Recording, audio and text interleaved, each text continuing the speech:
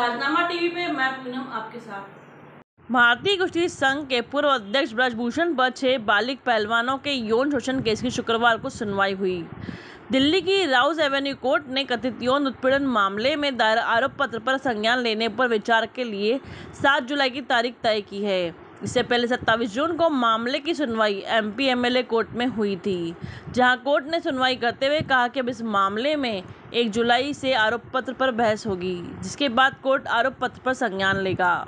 साथ ही अतिरिक्त मुख्य मेट्रोपॉलिटन मजिस्ट्रेट हरजीत सिंह जसपाल ने कहा था कि यह एक लंबा आरोप पत्र है, जिसके बाद उन्होंने मामले में सुनवाई स्थगित कर दी थी। नया आरोप पत्र दायर किया गया, इस पर गौर करना दिया जाए। चूँकि ये एक लंबा आरोप पत्र है, इसलिए इस पर कुछ दिन विचार करने दिया जाए। इन तीन दिनों में कोर्ट पंद्रह सौ पन्नों की चार्जशीट पर स्टडी करेगा। पहलवानों ने इस मामले की जाँच के लिए कोर्ट में याचिका दायर की थी, जिसमें उन्होंने कोर्ट की निगरानी में मामले की जाँच कराने की मांग की थी। अब महिला पहलवानों ने इस याचिका को वापस लेने की मांग की है।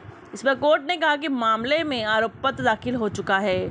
ऐसे में जाँच की निगरानी की मांग वाली याचिका का अब कोई औचित्य नहीं। कोर्ट ने पहलवानों के वकील से ये भी कहा कि अगर आपको लगता है कि जाँच की निगरानी की ज़रूरत है तो नई याचिका दाखिल कर सकते हैं। इसी के साथ बने रहे राजनामा टीवी पे। धन्यवाद।